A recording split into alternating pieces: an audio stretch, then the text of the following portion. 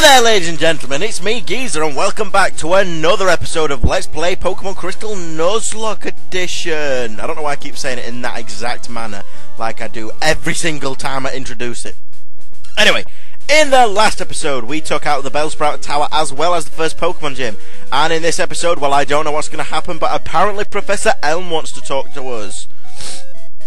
Oh, good. I'm glad we get to see Professor Elm again, the most pointless character in human history. Like, literally, that's what really annoys me about Pokemon Gold and Silver. Like, Professor Elm literally does like three things, whereas Professor Oak, you know, gives you your Pokedex and tells you that you can actually do the whole champion quest. Anyway, we got the Pokemon Egg. And this Pokemon Egg, if you don't know, will hatch into a big, beautiful bastard of a Togepi. Now, the way I'm going to deal with this is I am going to have all gift Pokemon, such as Togepi, uh, Pokemon like that, I'm going to put them in the PC, and then if I get a game over and every single one of my Pokemon dies, I have those gift Pokemon and one last chance. They're like my extra life. So yes, in this episode, we can now finally go down into Route 32. Now, if you go past this guy, he will give you a Miracle Seed, so I'm going to talk to him and get one of those, because the items in this game, like the Twisted Spoon, the Charcoal, they increase the power of the certain moves only by 10%, which is contradictory, well not contradictory, which is different to the future installments where it gives more of a 20-25% bonus, I don't know. So let's see what Pokemon, will it be a Wooper, will it be a Mareep, or will it be a Rattata? An Ekans! Didn't expect that! Well yes, Ekans is a well, I've never really used it before. Oh, shit! Oh, God. My Pokemon are quite weak. Okay. Let's think about this. Have we got a... We got a potion. Okay.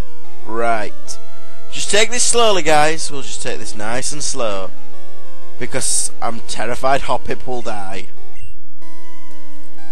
Come on, Hoppip, come back to us. We're going to get this motherfucking Ekans. Oh, he's using Wrap. Oh no! 1 HP! If he does that 23 more times, I'll be fucked. Well, let's use Tackle. No critical, no critical, no critical, no critical, no cri Are you fucking kidding? Are, are you kidding me? Like, seriously? It's gone beyond a joke now, guys.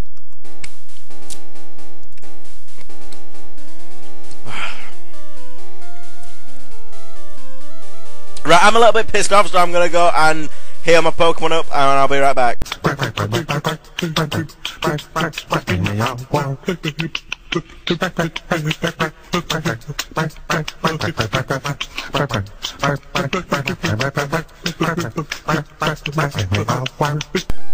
And we're back! Oh, good, a Rattata. I miss you, Derekina! So, yeah. Zubat died. Ekans died. I'm so unlucky because, like, literally, I've only got three Pokemon and two of them are the same type, and one of them was given to me. But hey, hey, Hoppip grew to level 13, so oh, poison powder. Uh, well, oh, I suppose it's better than splashing it, so. Sorry about the sound there, I don't know what was happening. I haven't seen you around before, so you think you're pretty tough. Well, yeah, I've got a motherfucking Hoppip and a Bellsprout that's level 5. I mean, what are you doing with your life? Sorry, I'm eating Maoams, so, you know, because I've only just woken up. It's Bank Holiday Monday and I woke up before 12. Like, can somebody please give me a medal? Because I think I deserve one. Ah. Oh.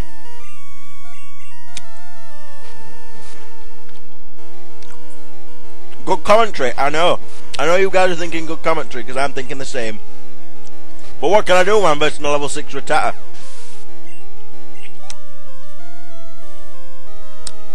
Let me swallow this Maoam, and we'll all be alright. Oh! Oh, I ain't had that much trouble swallowing since last weekend. Oi! Stop sniggering. That's not funny. Don't know why I pointed at my webcam there, like it's the viewers. Yes, viewers, specifically you, webcam. Hit, hit. Right, there's a 50% chance of hitting yourself in confusion, right? But I, I swear it's more like 3,000% chance because. Oh, a critical hit. Why am I unsurprised that he's getting all the luck? If I hit myself in confusion, I'm going to flip. There we go. Confusion or love are probably the two most infuriating sta status inflictors on this game because love is the I think infatuation is the worst because literally like I feel like I have a 2% chance to hit. Youngster Albert was defeated. You're strong. Oh, thanks. Oh, I sent some of my money to mum. Yeah, but you wished life. I don't know what I was gonna say. You know what? I'm gonna skip some trainers and verse them off screen because you know it'll save me a bit of time. Oh, I accidentally walked into him. That glance, it's intriguing. Well, thank you. Look at that stance. He looks like he's about to have a massive shit. I'm sorry. Camper Roland, not in front of me. And oh, cool, a Nidoran. I wish I had a Nidoran. I like that, Nidoran male. It's ma Did you know that Nidoran male's male? Because, like, if you didn't, then Pokemon Gold and Silver and Crystal will tell you twice. Oh dear. Oh, if I die, I'm gonna be so upset. Okay, it's a time of the switch. Don't know why I suddenly turned into Mario. It's a time of the switch. Are you ready for an amazing segue, guys? Are you ready? Speaking of Mario, has anyone played? I have recently. Well, my friend lent me uh, Paper Mario Sticker Star for the 3DS, and I just want to say that it's not that good of a game. Like, it has a lot of problems with it now. I'm just gonna ignore this tangent to read out what Camper Roland said. Hmm, this is disappointing. Aren't you so glad I stopped to read what he said? Anyway, speaking of Paper Mario Sticker Star, I am a big fan of the Paper Mario series. Ever since the first installation on the Nintendo 64, I thought it was a great game. It was filled with good humour, nice visuals, and Paper Mario The Thousand Year Doors is probably the best RPG on the GameCube. And that's saying a lot when it's got games like Fire Emblem and Pokemon Colosseum and XD on it. So, yeah, that is a really good achievement. So, and I also quite enjoyed the Wii version. A lot of people didn't like it because it took away from the roots of the RPG.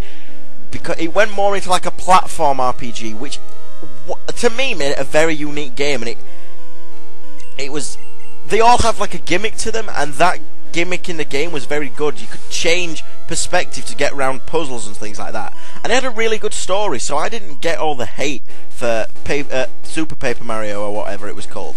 But Paper Mario Sticker Star is a big letdown of a game in my opinion. The visuals are brilliant, and in 3D, it really looks good. But the problem with it is that there aren't any there isn't an experience system to talk of. Like in this Pokemon, you know, you do a battle, you receive some experience, you get a level up. I mean, that makes the random battles worthwhile and when you crash into them. I know some people find it frustrating, but at least you're getting something for doing them. It's not just completely pointless.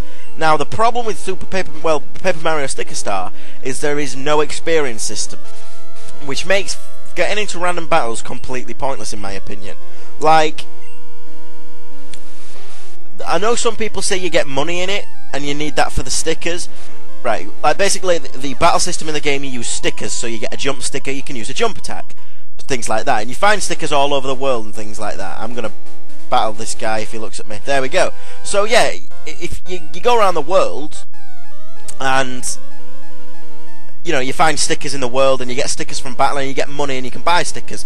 The problem is though, I find random battles. Whenever I got into a random battle in that game, I felt like it was wasting my time because it uses up your stickers because you know you're battling him and you've got to kill him. So it's using up your stickers in the first place, and also there's a huge problem with. Wait, it was yeah, like you get money from it, but I completed the game just using the stickers I found around the places because I had them when I got to the boss battle. I had more stickers when I got to the boss battle.